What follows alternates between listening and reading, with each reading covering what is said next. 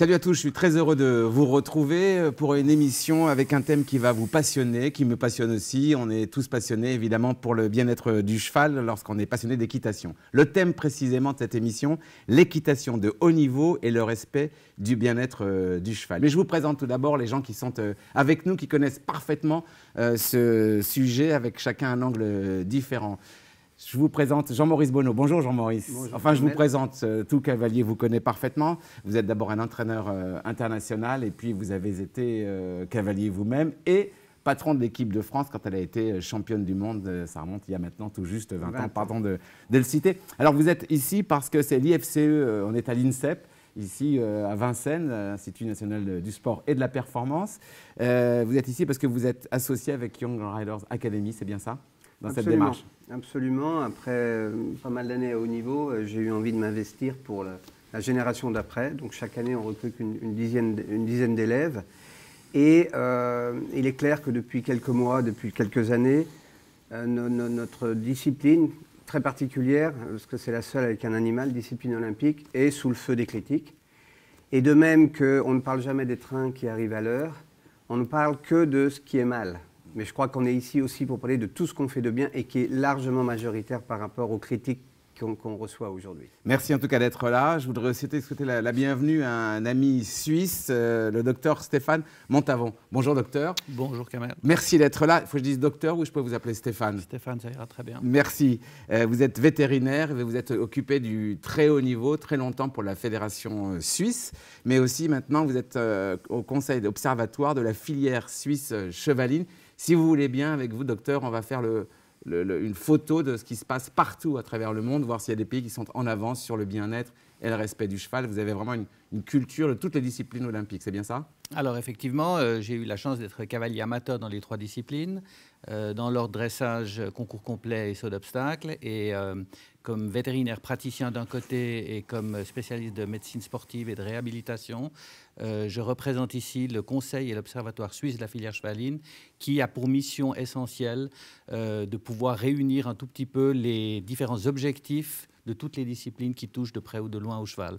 Et dans ce cadre-là, effectivement, euh, on aimerait répondre euh, aux critiques, on aimerait essayer de changer un tout petit peu euh, l'état d'esprit de la filière, la sortir de son mode de réaction et la mettre plutôt dans un mode d'action, de manière à ce qu'elle informe le grand public d'une part, ses membres propres à la filière, qu'elle doit continuer d'éduquer et surtout donner un message effectivement positif, comme l'a dit Jean-Maurice, parce qu'il y a énormément de choses qu'on fait très très bien avec des chevaux. Alors j'irai vraiment vous chercher, vous taquiner, parce que j'aurais vraiment savoir justement dans quelle discipline euh, le travail de haut niveau et le respect euh, sont euh, exemplaires et d'autres peut-être un peu moins bons élèves. On verra des, pays aussi meilleurs élèves que, que d'autres.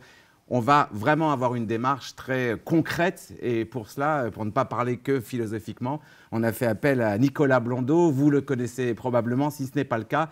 C'est une méthode à lui-même, réputée pour justement avoir une approche du jeune cheval se servir, s'approcher d'un cheval, mais avec sa tête, pas uniquement euh, par des ordres euh, imposés. Nicolas Blondeau, bonjour.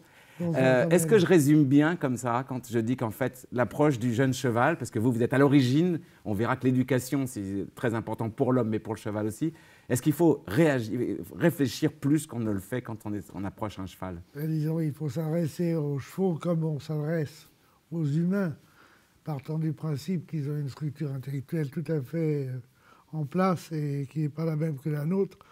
Et pour nous, il s'agit de retrouver les chevaux, puisqu'on a vécu dans un siècle qui l'a complètement oublié.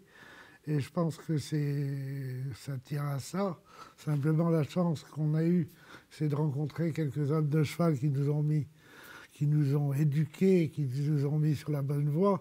Je ne vois pas pourquoi ça s'arrêterait maintenant à nous de faire perdurer cet enseignement qui a complètement disparu. Euh, vous êtes un homme de cheval et vous faites école dans votre, euh, par votre méthode. Qu'est-ce qui vous surprend le plus? Quelles sont les erreurs les plus grossières, mais les plus régulières que vous voyez de, gens sûrement, a priori, bien intentionnés, mais qui font des erreurs capitales pour que le cheval soit heureux? À mon sens, c'est dû à l'ignorance, c'est-à-dire au manque, à l'absence de contact que les gens ont avec les animaux en général et avec les chevaux en particulier. Il suffit de retrouver les chevaux, donc de se rapprocher des chevaux, de toucher les chevaux. Et c'est là où on ressent inévitablement cet investissement qui est indispensable quand on s'adresse à un cheval, et à un jeune cheval en particulier. Beaucoup de gens ont peur des chevaux parce qu'ils ne connaissent pas les chevaux. Il faut leur permettre d'approcher les chevaux, de les toucher et de, façon à pouvoir les comprendre. C'est vrai dans la vie en fait. On a toujours peur de ce qu'on ne connaît pas, euh, euh, de ce qu'on craint. Est-ce que vous pensez euh, que ça va mieux quand même le rapport homme-cheval? Est-ce qu'on traite mieux le cheval pour faire du sport qu'on le traitait il y a 20 ou 30 ans? Est-ce qu'on s'améliore? Mieux, je ne sais pas. Ce que je peux dire, si vous voulez, c'est que, avec les, en ce qui concerne l'enseignement de l'équitation générale, ce qui se passe, c'est beaucoup de gens commencent par aimer l'équitation avant d'aimer les chevaux. Et au contraire, des gens qui arrivent aux, chevaux par amour des chevaux, c'est déjà beaucoup plus rare. Voilà ce que j'ai constaté. Stéphane euh, est-ce que la, photo du propriétaire, euh, j'allais dire consommateur justement, lapsus, hein, euh, cavalier, celui qui était avec les chevaux, a changé dans ces dernières années? Est-ce qu'on est, avant on était peut-être plus dans la ruralité qu'on est aujourd'hui. Est-ce que ça change justement le rapport avec l'animal? Alors ça change fondamentalement parce que ça correspond à l'évolution de la société.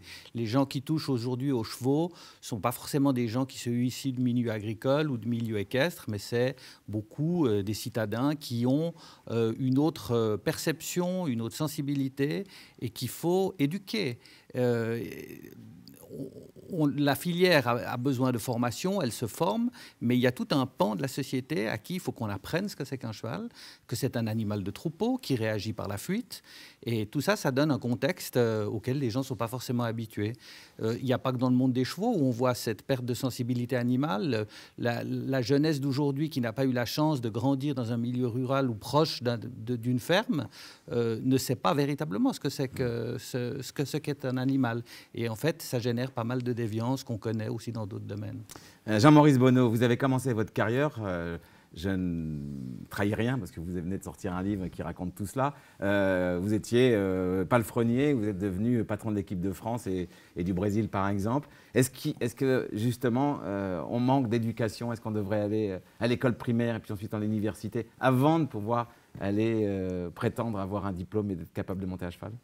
Je, ne suis pas certain. Parce qu'il y, a vraiment deux choses dans tout ça. C'est le cheval en tant que tel, et je rejoins Nicolas, et le cheval dans, qui il est. Quoi. Si on, replace le cheval avec mère nature, comment il se comporte? Effectivement, animal grégaire, herbivore, système de défense, la fuite. Et c'est très amusant, par exemple, quand vous discutez avec quelqu'un qui ne monte pas à cheval parce qu'un jour, il s'est fait embarquer. C'est parce qu'il n'avait pas les codes euh, pour euh, comprendre ce qui se passait. L'expression prendre le mort aux dents, elle veut dire exactement ça. Et donc, je crois qu'il faut. Euh, on ne peut pas pratiquer l'équitation sans bien sûr euh, avoir quelques notions, mais encore faut-il que l'éducateur, le moniteur, ait eu cette formation-là pour la, transmettre et pour faire monter ses cavaliers en sécurité. Donc ça, pour moi, c'est fondamental. Et après, j'ai une petite divergence avec Nicolas. Oui, on a fait beaucoup de progrès, nous, dans le sport de haut niveau, ne serait-ce qu'au niveau de la qualité des sols, des terrains, du suivi euh, vétérinaire. On a beaucoup profité, et je parle sous le contrôle de, Stéphane, des progrès de la médecine humaine. Ici, on est à l'INSEP, on a pu voir ce matin les équipements. Eh bien, tôt ou tard, on en profite tout derrière. Donc, il y, a une recherche parce que le cheval de sport, à haut niveau, mais aussi dans le club, aussi dans les spectacles, est l'acteur principal. C'est-à-dire qu'on ne peut pas investir sur un athlète qui serait blessé par ignorance ou négligence, eh bien, tout votre programme sportif s'éteint. Donc, c'est quand même une. Euh, c'est important, de mon point de vue, de le, préciser parce qu'il y, y, a aussi une raison économique dans tout ça. Il y a toute une filière euh, qui, qui n'est pas négligeable en France et qui est, la plupart de cette filière n'est pas exportable. Quand on parle de relocaliser, tous ces phénomènes-là entrent dans, dans, dans, cette perspective-là. Mais, mais, oui, et, et, et vous, je me rends compte pour moi, ce que je faisais il y a 10 ans, je ne fais plus aujourd'hui. Parce que si on parle d'éthique, par exemple, l'éthique est la géométrie variable. En fonction du pays où on est, en fonction de la mmh. période où on vit, Donc ce qui était accepté hier, par exemple, hier, ça posait à personne un problème de donner une fessée à un enfant. Aujourd'hui, c'est contre la loi. Donc je crois que c'est une évolution permanente. Dès lors qu'on vit avec les chevaux, c'est pas je vis et maintenant je vis sur mon, sur mon acquis, c'est tous les jours. Une vie suffira pas à continuer d'évoluer avec ces animaux-là. Voilà, c'est ça ma, ma perception et c'est ça ma quête quotidienne dans l'exercice de mon métier. Est-ce que dans les trois disciplines, vous voulez dire quelque chose, Nicolas? Non. Est-ce que dans les trois disciplines olympiques, on va précisément parler de celle-là parce qu'on est à l'INSEP ici, on parle du sport de très haut niveau.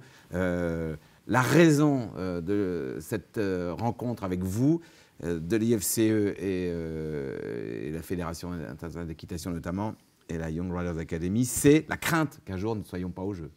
C'est la peur que notre sport soit mal compris. C'est la peur que des images choquent et qu'on soit tous considérés comme euh, des mauvais euh, personnages.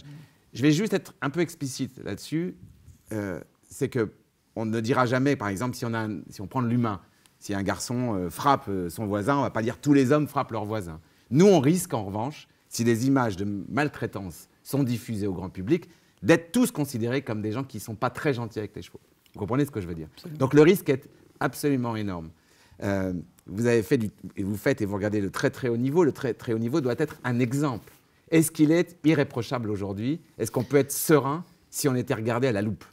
Alors, c'est une question délicate, mais j'entends le haut niveau est d'abord un miroir. C'est un miroir et c'est surtout un modèle. Et c'est un modèle pour les générations qui suivent. Le, cavalier amateur ou ceux, qui sont en devenir, ou même la jeunesse, la relève de demain, elle prend comme modèle le haut niveau. Donc, à ce titre-là, le haut niveau se doit d'être irréprochable. Effectivement, malheureusement, la filière euh, euh, subit euh, ces derniers temps, tu as parlé de moi ces, dernières années, il y a régulièrement des, éléments ou des, événements qui nous rappellent qu'elle ne l'est pas. mais d'un autre côté, la filière a aussi une attitude durant ces 30, 40 dernières années où elle ne s'est pas donné la peine d'expliquer ce qu'elle faisait. Et elle faisait, manifestement, elle fait des choses très très bien, mais cette attitude qu'on pourrait peut-être qualifier, suivant les pays, d'arrogance, fait que le grand public a toujours été un peu tenu à l'écart. Alors oui, il y a des disciplines qui sont plus euh, sous, le, sous les feux de la rampe. Euh, on a, dans les trois disciplines olympiques, on a parlé du dressage. Le dressage a, une, une, mauvaise compréhension de son sport et de, son art, parce qu'à la base, c'est d'abord un art et c'est une discipline qui est absolument nécessaire pour les deux autres aussi. Ça, c'est la première des choses. Ensuite, euh, le, concours complet subit des problèmes euh, d'ordre accidentel. Les accidents sont souvent fatals. Là, en revanche, les institutions, la Fédération internationale notamment et la FFF, fait beaucoup de progrès. Alors, il y a eu énormément de progrès dans le style de construction, il y a eu énormément de progrès dans ces obstacles qui sont qualifiés de mille, donc qui tombent, euh, mais il y a encore pas mal de travail à faire aussi. Euh, le concours complet, le visage du concours complet a complètement changé en 40 ans. les vitesses restent les mêmes, mais par contre, la technicité des parcours, notamment en ce qui concerne la, la phase de terrain, est devenu euh, véritablement beaucoup plus, plus difficile, plus technique et qui nécessite des qualités de la part des cavaliers qui sont, qui sont beaucoup plus élevées. Le saut d'obstacle, lui, il évolue, il, euh, c'est aussi devenu euh, très très technique, c'est devenu très très rapide. Euh, la nature des chevaux a aussi énormément changé. On travaille avec des chevaux aujourd'hui qui ont beaucoup beaucoup plus de sang. Et qui dit plus de sang dit forcément un peu plus délicat peut-être d'abord à former et ensuite euh, à monter. Techniquement, c'est plus difficile. La, qualité des cavaliers qu'on a aujourd'hui n'est peut-être pas forcément à comparer avec celle qu'il y avait il y a 40 ans. Donc oui, les disciplines olympiques sont sous, sous, le, sous les feux de la rampe. Et j'aime bien utiliser cette expression qui dit que pour la filière, c'est midi moins 10 pour réagir. Et c'est véritablement maintenant qu'il faut que la filière se, se réunisse. Il y a absolument urgence qu'elle se réunisse, qu'elle s'unifie et qu'elle vienne au-devant du grand public d'une seule voix en, étant capable d'expliquer ce qu'elle fait véritablement de bien parce qu'il y a beaucoup de choses qu'elle fait bien. Nicolas Blondeau, est-ce que parfois on ne vous a pas considéré comme euh, un homme euh, trop euh, intellectuel, trop chochotte avec les chevaux, trop spirituel? Est-ce que vous avez été obligé de convaincre pour... Euh, Moi, j'ai convaincu à partir du moment où on, a eu tout de suite des résultats. Si vous voulez, le problème, je me soucie guère de ce qu'on a dit de moi, le problème, si vous voulez, je pense, pour reprendre ce que vient de dire Stéphane, c'est qu'il faut reprendre le problème au début, à savoir, il faut reprendre l'éducation au début, comme pour les chevaux d'ailleurs. Il faut expliquer surtout aux gens ce qu'on fait avec les chevaux, pourquoi on vit avec les chevaux, pourquoi on évolue avec les chevaux, pourquoi on vit ensemble. Et si on monte à cheval, c'est parce qu'on a des choses à faire ensemble. Et je pense que tout est là, et même les gens qui ne sont pas dans les chevaux, leurs ancêtres, nos ancêtres, vivaient avec les chevaux, faisaient la guerre avec les chevaux, travaillaient avec les chevaux. Il faut simplement leur réexpliquer ce que l'on fait avec les chevaux, comment on doit se comporter avec les chevaux, qu'est-ce que c'est qu'un cheval, etc. Pourquoi on vit avec eux. C'est assez simple. À partir du moment où on reprend les choses au début, mais il faut prendre le temps d'expliquer, de reprendre les choses au début et d'expliquer qu'on éduque un cheval comme on éduque un enfant. Il y a peu de différence à part des réactions qui ne sont pas les mêmes parce qu'il y a un herbivore d'un côté et un cueilleur euh, de l'autre, etc. Mais les notions du bien et du mal peuvent être partagées comme elles sont partagées aux quatre coins du monde par des gens de races et d'extraction totalement différentes. On peut partager donc les notions du bien et du mal.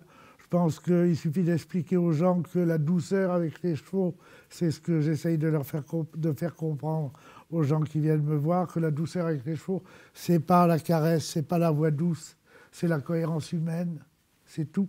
C'est aussi simple que ça. Et en restant tout à fait euh, humble, je pense qu'on a avec ça des résultats qui sont tout à fait probants. Et ce qui est très, très drôle, je trouve, c'est que plus un cheval, euh, Stéphane parlait de, des chevaux qui avaient de plus en plus de sang, plus un cheval a de sang, plus il a de caractère, plus il va vite bien et plus il va vite mal hmm. si on agit à, contresens. Hmm. Vous voyez, donc le problème, à mon avis, le bien-être des chevaux passe par le bien-être des hommes. Hmm. On ne peut pas être bien et bien traiter un cheval et bien vivre avec lui si on est mal dans sa peau. Oui, mais alors là, la responsabilité est de toute la filière, Jean-Maurice Bonneau. C'est que Nicolas Blondeau dit qu'il faut que les hommes, grosso modo, soient heureux dans leur travail pour être bien avec les chevaux. Mais donc, il faut, ça, veut dire, ça veut dire que euh, celui qui est propriétaire d'un cheval, un éleveur ou un cavalier amateur, doit accepter de payer un certain prix pour que euh, les employés, euh, on ne leur demande pas 25 heures de travail non-stop. Vous comprenez ce que je veux dire? Pour qu'il y ait bien traitance, il faut que le personnel soit bien, traité. Bien évident. Il y, a, une réalité économique dans, toute chose. Là aussi, je pense qu'on a énormément euh, progressé, dans le sens où il y a quand même des, lois sociales qui sont applicables à, tout secteur euh, économique. Mais, mais, ce que dit Nicolas, c'est tellement important. C'est-à-dire que, quand on, de mon point de vue, quand on prétend vouloir travailler les chevaux, on rentre dans les ordres quelque part. C'est-à-dire c'est un choix de vie c'est un choix de vie. Et effectivement, euh, moi, j'ai eu envie de, un, euh, pouvoir nourrir ma famille, envoyer mes enfants à l'école, ce qui est normal. Donc, mais c'est un problème parce qu'il y a sûrement trop d'opacité dans la manière dont on travaille, manque de communication, faire savoir. Des tabous, hein Des tabous. Mmh. Et notamment sur le prix des choses. Quand on achète une baguette de pain, eh bien, euh, le boulanger, il va, il va rembourser sa, boulangerie, son, fournil, il va payer ses employés et il va, il va dégager un profit pour vivre et faire vivre sa famille. Eh bien, nous, il faut aussi qu'on accepte dans cette filière de dire, voilà, quel est le prix des choses. Parce que la différence, ce matin, je visitais encore une fois euh, cet INSEP qui m'impressionne. Nous, nous sommes dans un sport où chaque athlète a sa propre structure. C'est-à-dire, c'est comme si chaque nageur avait sa piscine pour s'entraîner. Euh, donc là, on a, une réalité économique. Chaque cavalier d'un club ou, de haut niveau encore plus a est son propre patron, avec euh, du personnel, avec des fournisseurs, avec euh, des, clients, etc. Et il doit mener tout ça.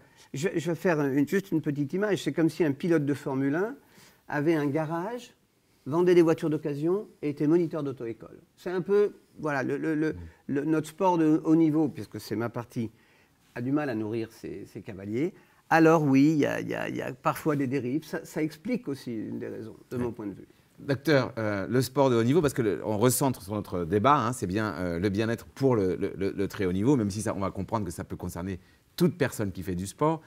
Gagner, c'est euh, ressentir des émotions rares. Ce que vit un athlète, c'est comme ce que vit une star devant, applaudit, rockstar devant 3000 personnes, c'est des choses que peu de gens peuvent vivre. Donc c'est comme une forme de drogue, l'adrénaline euh, notamment. Bon. Est-ce que c'est pas ça justement qui peut amener euh, des mauvais comportements pour rester à avoir cette petite dose de, vie incroyable? Alors le, sport à haut niveau et a fortiori avec du succès peut générer une certaine addiction. On est bien mhm. d'accord. On parle bien de ça. Et c'est toujours, on parle tout à fait de ça. Et c'est naturellement pour un cavalier de l'élite aujourd'hui ou du haut niveau dans les trois disciplines, quand on a eu la chance d'avoir un cheval qui vous a offert une médaille euh, ou, des, ou, des, beaucoup de victoires, euh, on est tout le temps dans la quête de rechercher le suivant.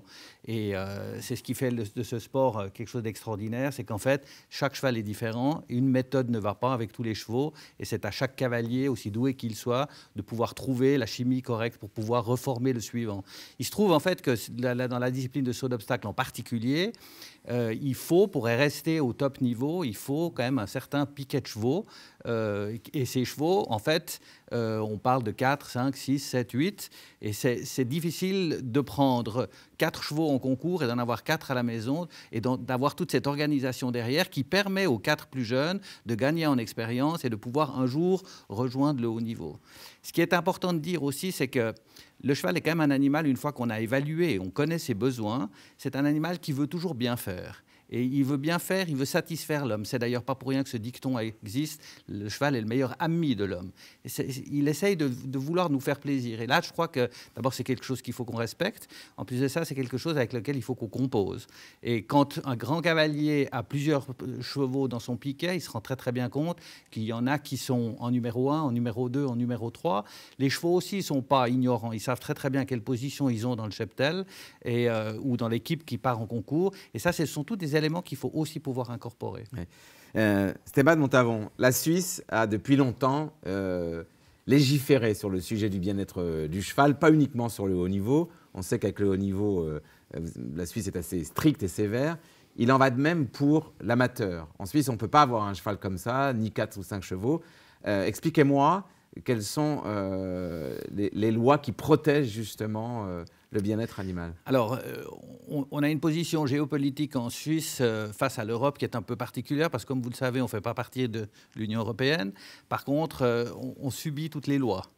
Donc les lois qui sont valables en, Europe sont également valables en Suisse. Il se trouve que c'est une exception pour la loi sur la protection des animaux, parce qu'on a eu une loi sur la protection des animaux qui était bien plus sévère avant que l'Union européenne la mette en vigueur. Ça a eu un effet très très positif, notamment, et Jean-Maurice le soulevait tout à l'heure, le problème des infrastructures, la qualité des écuries, la qualité des sols, la qualité des parcs, euh, ces obligations qu'on a de gérer aussi les mouvements des chevaux. Ça, c'est un effet bénéfique de la loi.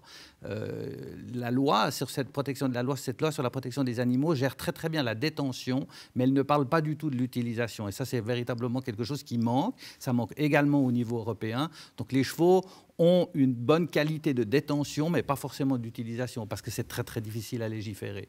Alors oui, il y a des disciplines, il y a des choses, il y a eu des axes courageux qui ont été faits en Suisse, notamment dans le cas de ce, phénomène qu'on appelle la relecure ou l'hyperflexion, où il y a eu certaines interdictions, notamment dans les artifices euh, enraînement ou, euh, euh, ou, aides particulières, qui ont été très clairement interdites. Et ça, Par exemple, ce qu'on appelle communément sous votre couvert les reines allemandes, euh, en Suisse sont interdites. C'est interdit, oui. Et ça, ça a été une décision qui était très, très courageuse à, mettre en place parce que, euh, d'abord, elle était, elle, elle, était fortement utilisée, notamment par les très, très bons cavaliers aussi, qui savaient euh, l'utiliser, qui en connaissaient les avantages et les défauts. Mais par contre, comme le haut niveau est aussi le miroir et en fait un, un, groupe auquel les, les, jeunes ou les générations suivantes aimeraient pouvoir se comparer, elle était aussi utilisée à mauvais escient. On a même eu des, une période où, au niveau réglementaire, on avait toléré la reine allemande pour le haut niveau et on ne l'avait pas toléré pour les autres classes. et finalement, ce n'était pas crédible du tout. Donc cette décision, euh, par la suite, euh, il se trouve que même si elle a été très très difficile à prendre, elle est à mon avis justifiée. Nicolas Blando, est-ce qu'il faut interdire des enraînements ou certaines méthodes ou plutôt éduquer? Est-ce que le problème, ce n'est pas le mauvais usage qu'on fait d'un... Bien, bien évidemment, c'est l'éducation qui prime. Et en ce qui concerne les embouchures ou les enraînements, l'important c'est la main qui va avec.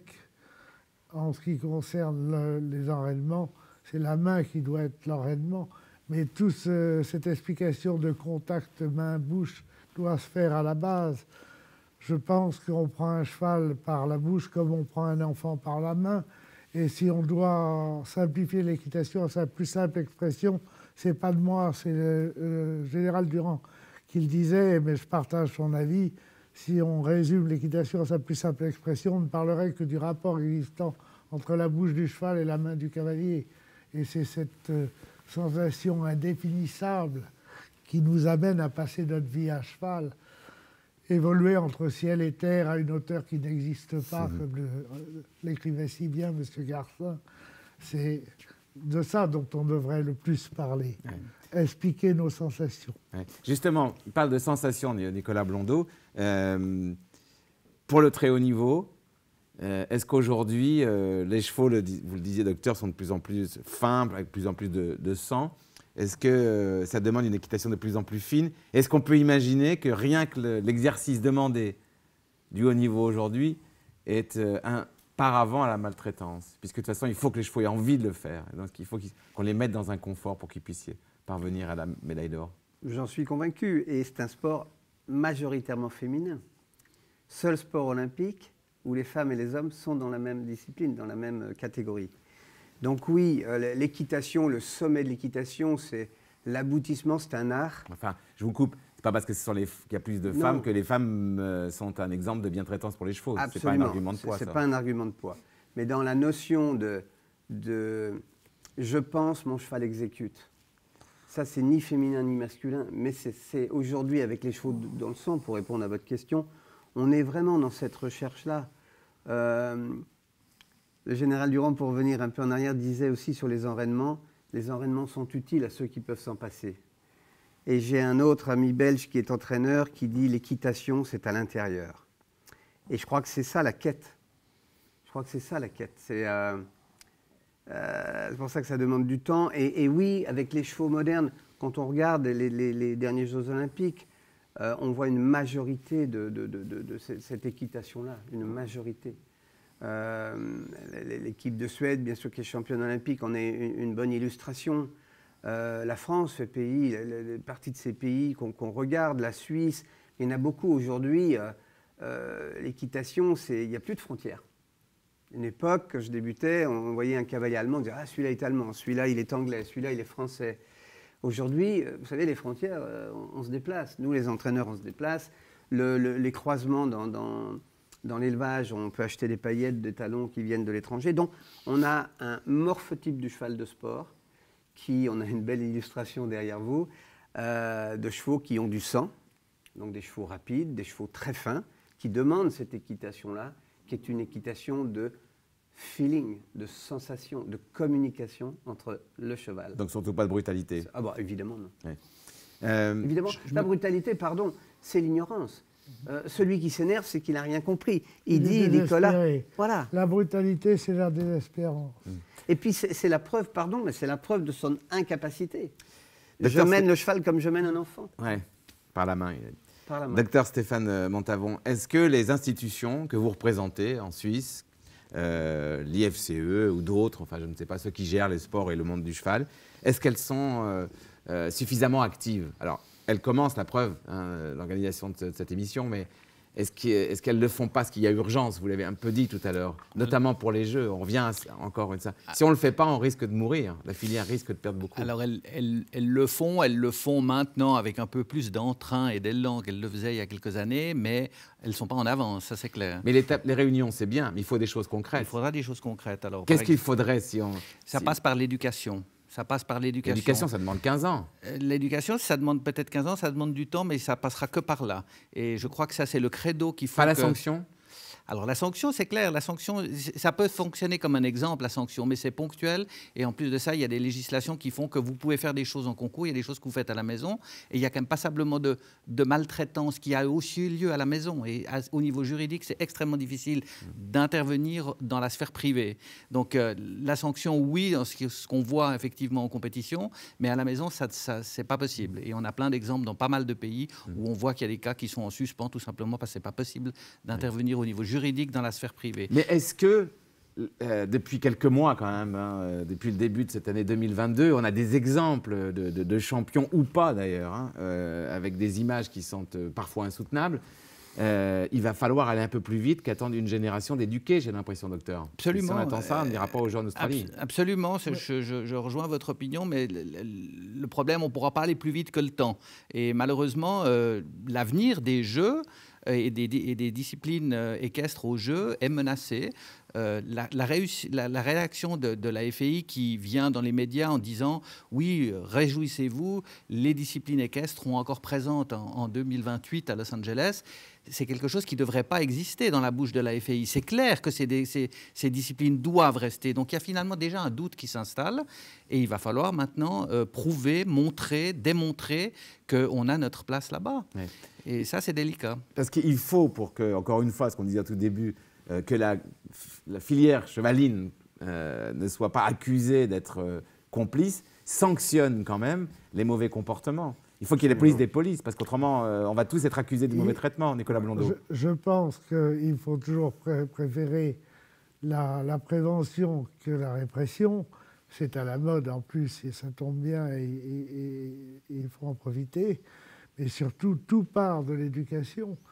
Et euh, il est urgent de continuer à éduquer les chevaux et de débourrer les hommes. Oui, mais alors là, il y a une part d'hypocrisie dans tout ce que vous êtes, euh, en tout cas tous les deux. Vous, êtes euh, scientifique, mais vous, vous êtes coach.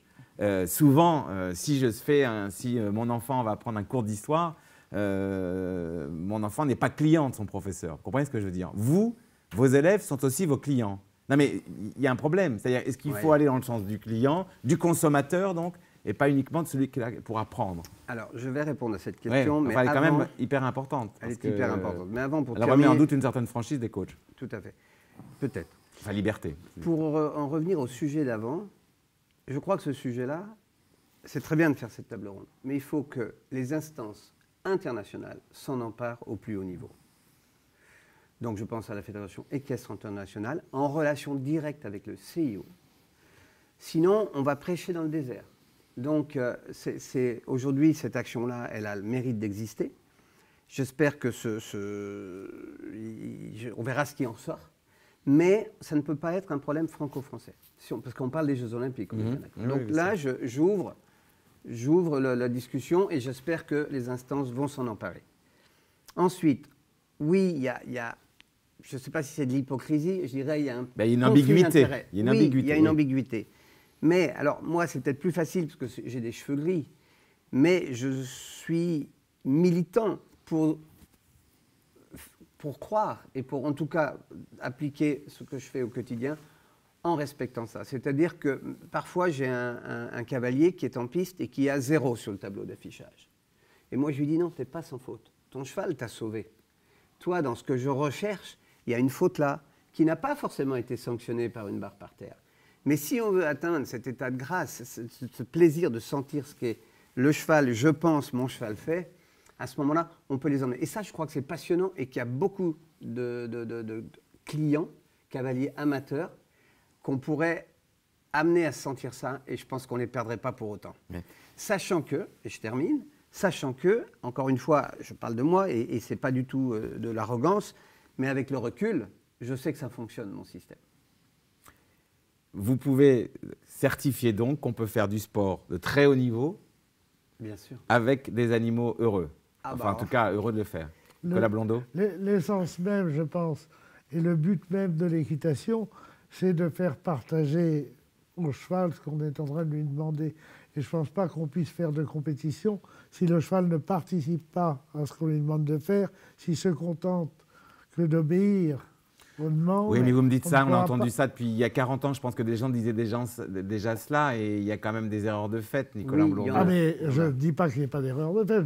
Je, dis que le but, le but hmm. de l'équitation. Est-ce que ce n'est pas plutôt de, d'essayer d'amener vos élèves, pour ne pas dire clients, à ressentir des choses et à y trouver du bonheur. Pas négatif. Non, non, Justement, parce qu'on est dans une économie, donc on peut, on peut mettre un nom sur client. Mon avocat, je suis son client, mais c'est pas, c'est pas négatif. Non, non, non, bien sûr. mais ce que je veux dire, est-ce que, est-ce que la méthode n'est pas de faire ressentir les choses et du bonheur à celui qui va respecter son cheval au travail et de se dire ah bah oui c'est mieux, j'y arrive mieux comme ça. Ah, c'est ce que je fais. Enfin, c'est ce qu'on essaye. Le client en question va ressentir une satisfaction à partir du moment où le cheval va répondre euh, exactement à sa demande. Mais je veux dire, c'est pas, euh, c'est pas, au, c'est pas au client qu'on s'adresse, c'est au cheval d'abord. C'est le cheval qui va lui procurer ce plaisir-là. Et c'est euh, justement notre euh, démarche, c'est finalement que le cheval participe à ce qu'on lui demande de faire. Elle est là la participation. Non, je voudrais rajouter, j'ai un privilège, moi, en tant qu'entraîneur, c'est que j'ai eu la chance de faire quatre fois les Jeux Olympiques, quatre fois les Championnats du Monde, un certain nombre de compétitions de très haut niveau, et je suis avec le groom le seul qui est près des chevaux avant qu'ils rentrent en piste. Et je regarde les yeux. Eh bien, c'est comme les humains. Vous voyez très bien quand vous croisez le regard de quelqu'un, à peu près dans quel état d'esprit il est, surtout si vous avez cette sensibilité qui vous permet de, quand on est coach, on a deux athlètes, on a un athlète quadrupède et un athlète bipède. Et ça, c'est toujours. Et quand je vois la tête des chevaux, je peux vous dire que le cardio remonte, ils sont focus sur la piste et ils ne sont pas là contre cœur. Hein. Sinon, ils feraient demi-tour. Or, ils ne font pas demi-tour. Docteur Stéphane Montavon, il y a quelque chose sur la, filière a beaucoup progressé, un sujet sur lequel elle a beaucoup progressé, c'est quand même le dopage. Il y a eu euh, des Olympiades, je me souviens notamment à Hong Kong, etc., où il y a eu de nombreux cavaliers, euh, la Norvège et moi, et quelques cavaliers allemands qui ont été éliminés. Euh, là, on sent qu'en revanche, ça fait partie de la maltraitance, on est d'accord, le dopage. Hein. là, il y a une vraie amélioration quand même alors, il faut, être positif, mais il y a quand même une question de terminologie. En fait, dans les sports équestres, euh, il, y a, du dopage, oui, mais il y a d'abord et beaucoup plus de la médication et de la gestion de délais de retrait qui est mal faite. C'est-à-dire, soyez précis. Alors, c'est-à-dire que ce sont des substances qui sont utilisées normalement en pratique équine. Quand on prend un anti-inflammatoire qui est, qui est une aspirine, par exemple. Alors, pas forcément une aspirine, mais une phénylbutazolidine qui est faite pour le cheval, euh, qui, qui, n'est pas forcément autorisée pour des chevaux euh, euh, de sport, mais ou pardon de, rente, qui sont destinés ensuite à rentrer dans la filière alimentaire, mais dans le cheval de sport, si effectivement on utilise des médicaments qui sont spécifiquement enregistrés pour le cheval et que malheureusement certains délais de retrait ne sont pas suffisamment respectés, on mm. n'a pas affaire à du dopage, on a affaire à de la médication. Mm. Et de la médication avec des, relais des délais de retrait. Ça veut dire qu'à cause de ça, on laisse des chevaux sans ces traitements-là, ils seraient pourtant soulagés et on ne peut pas le faire parce qu'on a peur de, du on Peut, on peut toujours le faire. Par contre, on, a des contingences de temps qu'il faut respecter. Et c'est là où c'est difficile, parce qu'une telle et telle substance peut avoir un délai de retrait un tout petit peu plus élevé si le cheval d'abord est en bonne santé ou s'il ne l'est pas, euh, suivant la température. Il éliminera naturellement beaucoup plus vite s'il boit plus. En été, les chevaux boivent plus, en hiver moins. Tout ça, c'est des influences qui, sur le délai de retrait. Donc ça veut dire qu'à cause de cela, on peut s'empêcher de soigner un cheval correctement. Ou alors on, ou alors on, a des problèmes de gestion de, de, délai de retrait sportif. Et puis on a une autre, une autre, puisque les laboratoires deviennent toujours de plus en plus performants, on a une autre catégorie, c'est les contaminations. Et les contaminations aujourd'hui de l'ordre de 10 9, 10 12, 10 15. Donc on a effectivement des, quantités, des quantités infinitésimalement petites qu'on arrive à détecter, qui sont souvent dues à des plantes toxiques qu'on trouve le long de nos voies de chemin de fer, pour parler par exemple de, de, de, de, Ou de, résidus alimentaires. De résidus alimentaires. Et ça, malheureusement, le, monsieur tout le monde du, du, grand public ne comprend pas la différence qu'il y a entre dopage, médication et contamination et met tout dans le même sac. Et ça, effectivement, c'est délétère pour la filière, oui. Mais de nouveau, la filière doit éduquer, doit expliquer. Mm. Et ça, c'est véritablement la mission qu'on a euh, et qu'on doit, au plus, au plus rapide euh, arriver à, transmettre à nos jeunes générations. Une grande amélioration faite depuis euh, ces dernières années, même assez spectaculaire, c'est le confort des chevaux dans le transport. Mm. Ça, ça a été un vrai plus parce qu'on voit les vieilles images où, euh, nos anciens stars comme Marcel Rosier qui vous racontent comment ils allaient en concours. Enfin, c'est absolument mm. hallucinant entre les bateaux et les trains. Enfin bon, là, les chevaux quand même, on peut dire au grand public que quand nos chevaux traversent l'Atlantique par avion ou ou des longs trajets en camion, ils sont parfois mieux installés qu'en seconde classe dans un mauvais train. Oui, c'est vrai. Et puis il y a aussi des législations qui s'appliquent au, temps de conduite, etc. Euh, les voyages en avion sont toujours... Euh, l'embarquement, c'est quelque chose de très pointu avec des protocoles. Euh, je parle sous le contrôle de, de Stéphane. Il y a des vétérinaires qui accompagnent les chevaux dans l'avion. Et dans les transports routiers également, quand on voit le, le, parc des camions sur les, sur les terrains de compétition, on est dans du très, très, très grand confort, mm. avec encore une fois cette notion de gestion de capital. On ne peut mm. pas en faire l'économie de cette, euh, mm. Cet aspect-là. Et puis, et puis quand même, quand on parle de Los Angeles euh, en 2028 et puis l'Australie en 2032, on peut dire au grand public, euh, aux officiels, ben, voilà, nos chevaux vont être transportés aussi bien, si ce n'est mieux, que les autres Ah athlètes oui. humains quand même.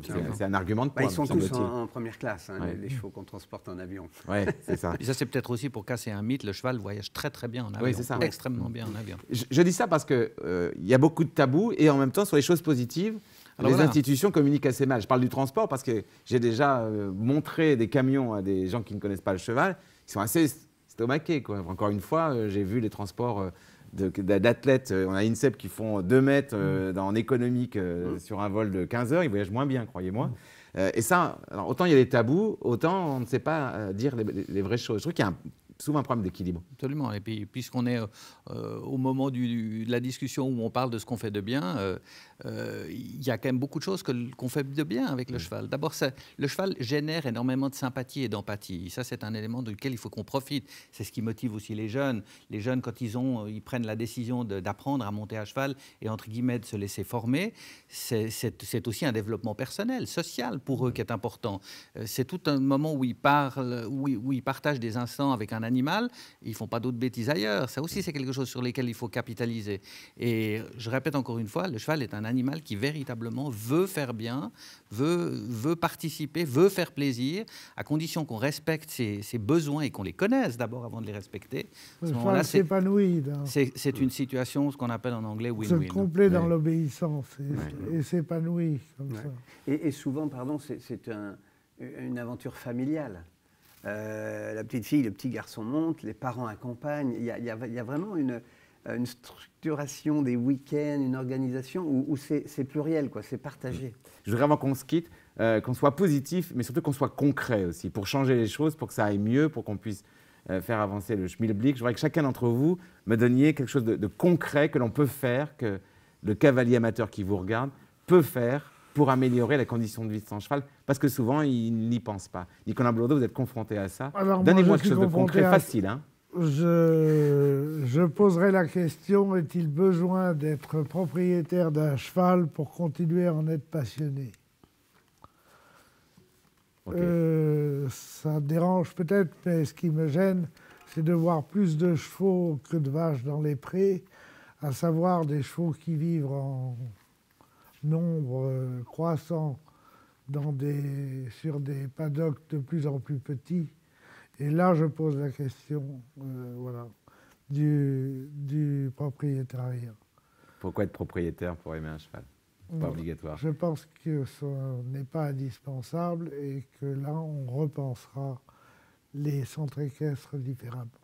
Jean-Maurice Bonneau, comment donner un conseil? Moi, Quel je suis venu avec ce petit ouvrage écrit par Jean-Louis Gouraud, euh, qui est chez Actes Sud, et qui dit euh, Le cheval, c'est l'avenir. Qui peut faire le lien entre l'homme et la nature? Sûrement pas les robots. Bon, ok. Donc si on lit ce livre-là, on saura. Oui, vraiment. On remet l'église au milieu du village, en fait. Oui, hein. il y a cinq commandements qui concernent les chevaux euh, en dernière page. Et sincèrement, je trouve que chacun qui prétend partir dans, dans- dans cette aventure autour d'un cheval, de, ça c'est un très bon début. Docteur, Alors, euh, moi, j'ai un message pour la filière d'une manière générale. Il faut qu'elle sorte de son vase clos, c'est le dernier moment. Et il faut qu'elle éduque, éduque et encore éduque. Ça s'adresse aux athlètes, ça, donc aux cavaliers du haut niveau, du moyen niveau. Ça s'adresse au niveau institutionnel. Il faut absolument éduquer et former. c'est politique comme message. C'est très politique, mais je crois que c'est la vérité. C'est le seul moyen de s'en sortir. Merci d'avoir été avec nous pour euh, traiter du bien-être du cheval Merci dans le sport de haut niveau. À bientôt. Merci.